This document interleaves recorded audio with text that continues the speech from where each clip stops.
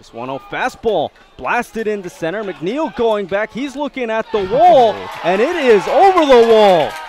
Home run for Colton Bender. Gets the Gulls one run back. It's 3 to 2.